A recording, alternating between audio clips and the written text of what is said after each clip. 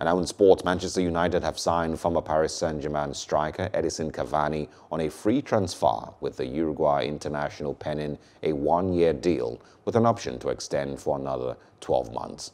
On the back of a humiliating 6-1 defeat at home to Tottenham Hotspur on Sunday, United also sealed the transfer deadline day signing of Brazilian left-back Alex Telles from Portuguese side Porto on a four-year deal. United did not disclose the fee, but British media reported the Old Trafford club paid around £15.4 million for the 27-year-old. Hello, hope you enjoyed the news. Please do subscribe to our YouTube channel and don't forget to hit the notification button so you get notified about fresh news updates.